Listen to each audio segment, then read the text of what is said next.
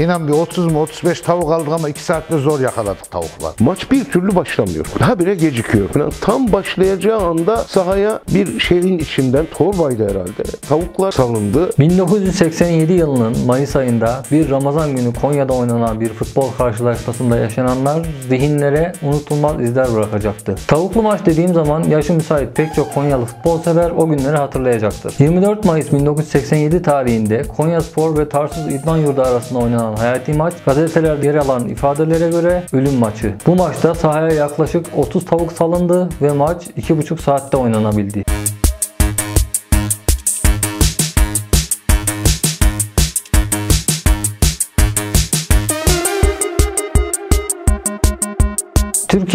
Ligi 3 gruptan oluşuyordu. 3 grubun birincileri 1. lige çıkacaktı. Bugünkü Süper Lig'e yani. A ve B grubu şampiyonları daha önce belli olurken temsilcimiz Konyaspor'un bulunduğu C grubunda işler karışıktı. 33. hafta sonunda Konyaspor ve Sakaryaspor 54'er puanla grubun zirvesindelerdi. Sakaryaspor'un averajı 49, Konyaspor'unki ise 43 idi. Son hafta maçları oynanacak. 6 gol averaj farkı bulunuyor. Sakaryaspor evinde Anadolu ile karşı karşıya gelecekti. Anadolu ise düşme hattındaydı. Maçlar federasyon tarafından aynı gün ve aynı saate planlanmıştı. Konya Spor Sakarya'dan gelen sonuca göre gol atacaktı. Örneğin Sakarya 2 gol atarsa Konya Spor 9 gol atması gerekiyordu. Konya Spor'un rakibi Tarsus İdman Yurdu'nun ise herhangi bir iddiası bulunmuyordu. İş geldi geldi son maça kaldı. İşin kritikliği şurada. Averaja kaldı. O zaman ikili averaj yoktu. Kim çok gol atmışsa o şampiyon olurdu. Son oynayacağımız maç Tarsus İdman Yurdu diyorum ama o zamanki adı Tarsus İdman Yurdu Erkut Spor da olabilir. Bizim o maçı bir 8-9-0 kazan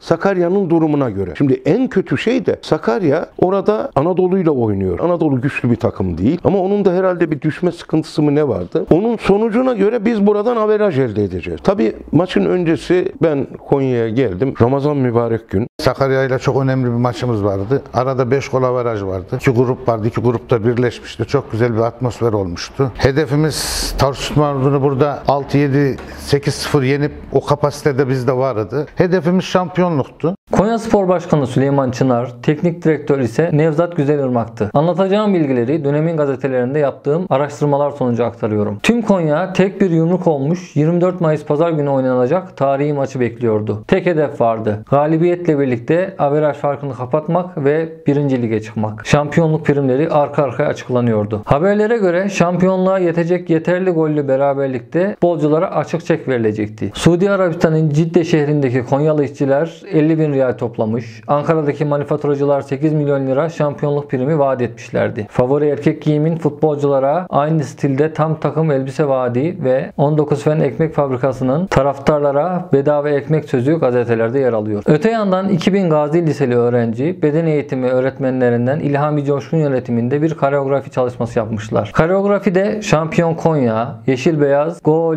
yazılarına hazırlık yapılmış. Futbolcular Tümosan sosyal tesislerinde kampa girmişti. Konyalı Devlet Bakanı Mehmet Keçeciler verdiği bir demeçte bir afet olmazsa Konya Spor şampiyon diye açıklama yaptı. Şehir iyice galeyana geldi. Federasyon Başkanı Ali Uras'ın Konya Spor Tarsus İdman Yurdu'na 10 gol atacakmış. Buna ne dersiniz şeklindeki soruya o maça hakemi ben vereceğim. 10-0 olursa maçı tatil ederim şeklindeki cevabı da Konya sporluları oldukça germişti.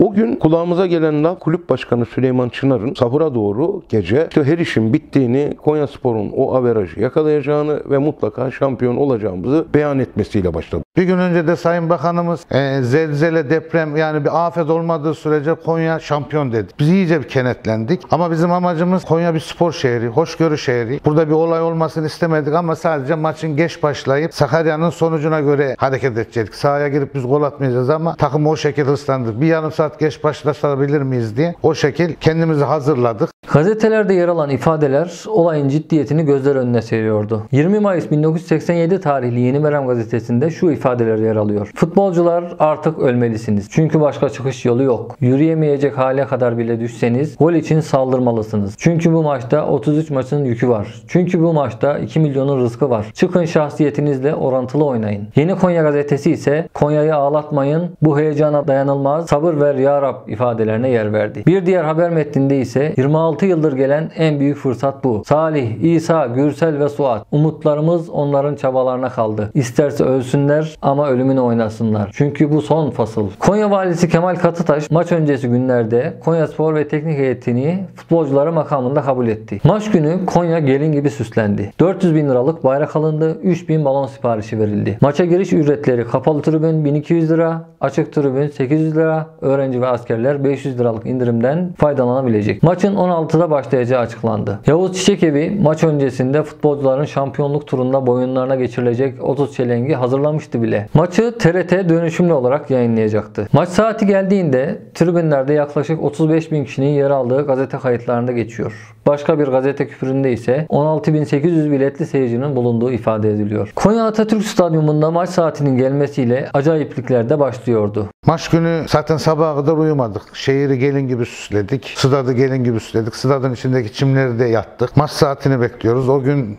kandildi. Mübarek bir Ramazan günüydü. Türkiye ile şeylerimiz kesilmişti. Bütün hatlarımız kesilmişti. Yani Konya'daki sonucu hiç kimse alma ihtimali yoktu. Onu bile ayarlamıştık. Yani her şeyi çok iyi planlamıştık.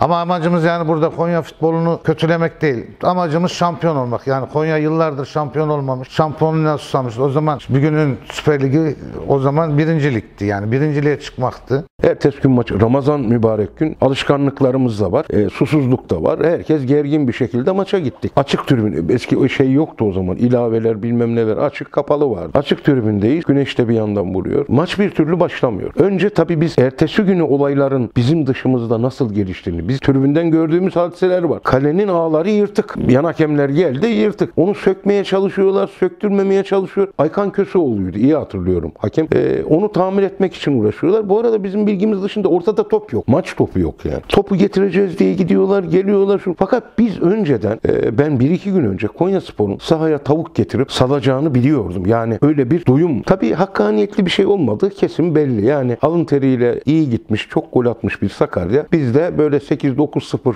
galip geleceğiz ve onların alın teri. Ama işte futbolun e, şeysi mantıksızlığı da burada. Hep bizim takım galip gelsin. Maçı geç başlatmak için ne yapmamız lazımdı diye düşünürken önce Türkiye'ye bütün giden o zaman televizyonlar fazla şey yoktu. Radyo vardı. Stadyumun üstündeki radyo kanalını kestik. Demir sporumuzun ve Koyan sporumuzun çok önemli bir yöneticisi vardı. Ali Gözönü abimiz. Onun çiftliği vardı. Tavuk çiftliği. Tavuk çiftliğine gittik. İşte başkanım böyle böyle bir durum var. Yapmayın ama yine fikriniz güzel dedi. İstediğiniz tavuğu alın dedi. İnan bir 30 mu 35 tavuk aldık ama 2 saatte zor yakaladık tavuklar. Yani koca çiftlikte 30-35 tane tavuğu yakaladık. Daha ne yapabiliriz? Maç başlaması için fileleri keselim dedik. Hakem fileleri kontrol ederken filenin kesilmesi, bir filenin yenilenmesi bir 5-6 dakikayı alır dedik. Tarsus Tutmanımızın forma rengi sarı lacivertti. Kalecimiz Panter Necat'ımız vardı. Ona sarı lacivert kazak giymesini söyledik. Yani etkenler bu şekildeydi. Şehri çok güzel süsledik. Stadı süsledik. Hakem girişlerini, Tarsus Tutmanımız futbolcuların giriş çıkışlarını her tarafı kontrol altımıza aldık. Sahanın içinde yani şampiyon olmamız için gerek ne gerekiyorsa onu yapmıştık. Maç 5'e yakın başladı. Çünkü hakemler sahaya çıktı. Ee, önce e, kale filelerini kontrol ettiler. Hatta bizim bir arkadaşımız vardı. Bizim kapalı tribüne çık.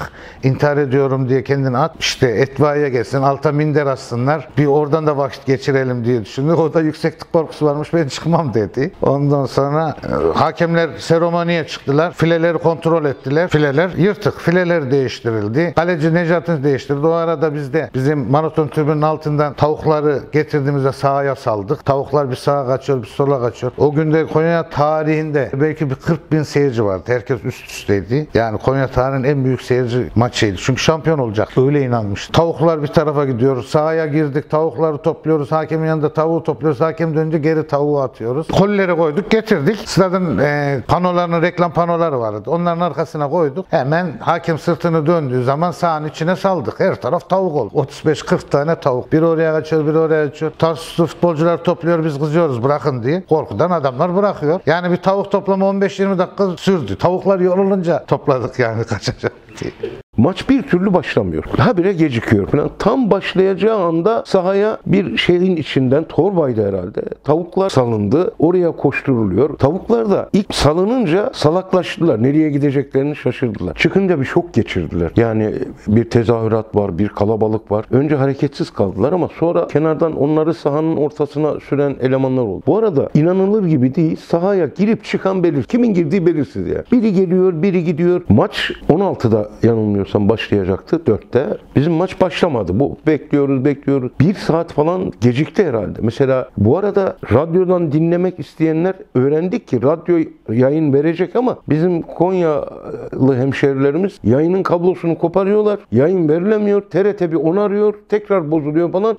Bilahare bunu da öğrendik. Dediler ki ya maçı doğru düzgün dinleyemedik falan diye. Maç başladı. Fakat hakem çok çaresiz kaldı önce. Yani top gelmedi. Maç topu işte ağlar yırtık. Onarsın diyorsun. Birisi onu söküp götürmeye çalışıyor içeriye falan. Allah'a şükür maçı başlattık. Tarsus'un hedefi hiçbir hedefi yoktu. Tarsus'un sadece orta sıralarda şey yapıyordu ama çok hedefli, çok kinlenmiş, çok teşvik almış bir şekilde geldi. Çünkü Tarsus bize karşı oynadığı futbol oynasaydı 15 puan farkla şampiyon olurdu o ligde. Aşağı yukarı bir 45 dakika bir saate yakın uzadı. Taraftarda bir tezahürat yapma bile şey yoktu. Herkes şampiyon olmuş. Hırsla bir an önce dakika be, yani 5. dakikada 5-0 olmasını bekliyordu. O şekilde şartlanmışlar. Oyan Spor gidiyor onların kalecileri vardı. İrfanovic. Çok iyi hatırlıyorum. İrfanovic kalecileri vardı. O sağa yatıyor, sola çarpıyor. Milli kaleci gibi top çıkartıyordu. İlk yarı 15. veya 20. dakikada büyük gol umudumuz Mete sakatlandı. Sakatlanmadı, sakatlandım dedi. Biz tabi başına gittik. Hadi gir içeriye işte oynayamıyorum, elim gitti, ayağım gitti falan diye aslında bir şey yok. Çocuk topa müdahale etti. Bu sakatlandım dedi. Tabi biz de biraz tepki gösterince sahaya girdi. Tek kale top oynuyoruz. Onların bir 6 numaraları vardı. Stoperler. 6 numara forma numarası giymişti. Erhan diye. O milli oldu sanki. Kaleci İrfan Oğuşları milli oldu. O kadar top çıkartıyor. İlk yarıyı zar zor bir sıfır bitir. Bir tane gol attık. Bu arada biz Tarsus'un futbolcularını soyunma odasına göndermedik. Yani oraya gitmesini istedik ama onlar gitmedi. Orta sahada toplandı. Etrafında polisler. Biz de gidiyoruz. Söylüyoruz arkadaş. Yani bir hedefiniz yok. Sakarya'dan prim mi aldınız? Ne aldınız? Kaleciler İrfan Oğuş dedi.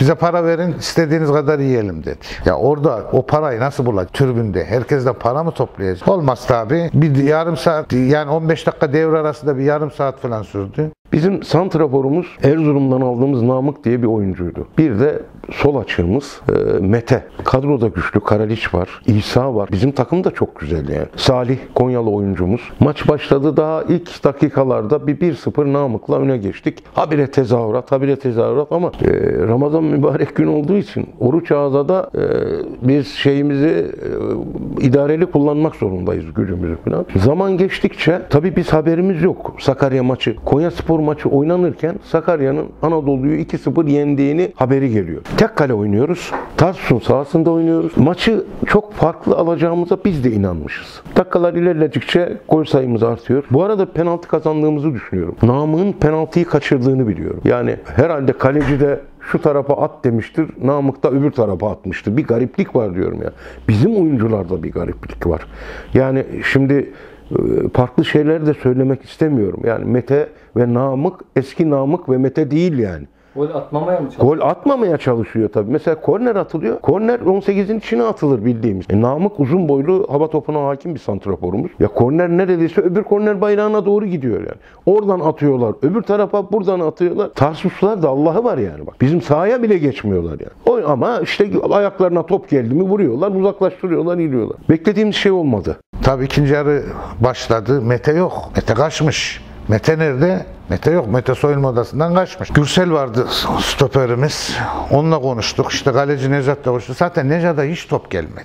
Necat eli belinde 18'in dışında geziyor. Arkadaşlarını bağırıyordu. O arada bir gol da attık. O arada hakem bir penaltı verdi. Namık, santiforumuz Namık Erzurum'dan almıştık. Kolu sarılı oynuyordu. Sakat olduğu halde kolu sarılı bandajlı top oynuyordu. Öyle bir penaltı attı ki top sana dokununa gitti yani. Zaman geçiyor. Sakarya'dan haber alamıyoruz. Ee, yalan haberler geliyor. Sakarya 5 yapmış. Sakarya 6 yapmış. İyice seyirci artık yavaş yavaş sahaya böyle inecek. Maç iptal edecek. Artık hem orucun verdiği etkisiyle hem şampiyonluğun verdiği etkisiyle herkes ne yapacağını biliyor. Usul usul bakıyorsun tellerden millet aşağı inmeye başlıyor. O arada dördüncü golü bulduk. Bizim futbolcumuz vuruyor Namık. Kaleciyi geçiyor. Alparslan'ın ayağına çarpıp çıkıyor.